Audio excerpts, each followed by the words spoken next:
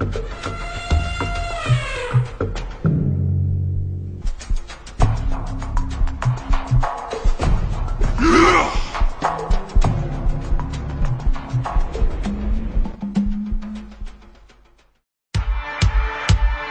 南非世界杯最大的明星是谁？不是绝杀制胜的伊涅斯塔，不是威风八面的金球弗兰，更不是早早 C 不败的 C 罗和梅西。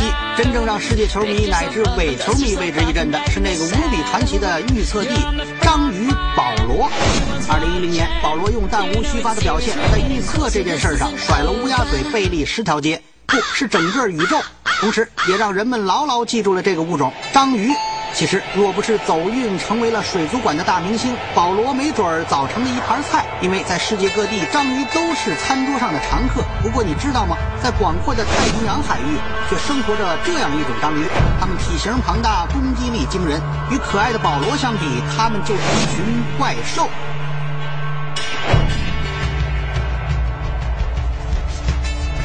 这样的画面一定已经见怪不怪了。似乎一提到怪兽，大家首先想到的就是一只巨大无比的章鱼。也难怪，在太平洋的各个水域，你都能找到巨型章鱼的身影。无论寒冷的阿拉斯加，还是温暖的南加州，巨型章鱼都能很好的适应。通常情况下，它们的周长都会超过五米，体重超过五十公斤。对于一个软体动物来说，这个体重已经很惊人了。而世界上最大的章鱼标本，周长达到九点一米，体重二百七十二公斤。想想看，八条数米长的触角在水中舞动，无数吸盘若隐若现，这样的场景怎能让人不倒吸凉气儿？在那个科技很不发达的大航海时代，当船员看到这样一头怪物袭来，自然是吓得目瞪口呆。回到家乡，再添油加醋的一忽悠，海怪就由此诞生了。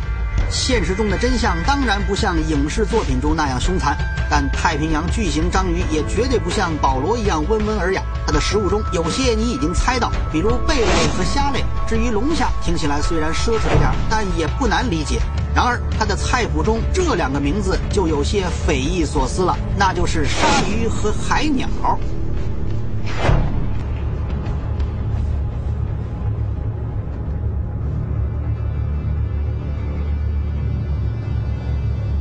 请相信你的眼睛，巨型章鱼的确有捕食鲨鱼的本领，因为它不仅身形庞大、力大无穷，智慧更是出类拔萃。根据科学家的研究，章鱼拥有极高的智商，它们甚至可以学会走迷宫和开罐头。探索频道的纪录片也讲到，如果人类在地球上消失，章鱼极有可能成为下一个智慧生物。由此可见，逮到鲨鱼和海鸟对章鱼来说根本不是事儿。派个小弟搞搞预测，也不过是小试牛刀。也许有一天，取代人类统治世界，才是这个大家伙的终极目标。